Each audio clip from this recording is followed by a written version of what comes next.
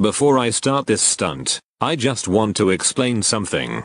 When you are entering the plane, you are not going inside here. You are actually teleported into this box right here, which is located under the map. So in order for me to get the taxi into the plane, this is where I need to go. Now let's start this stunt.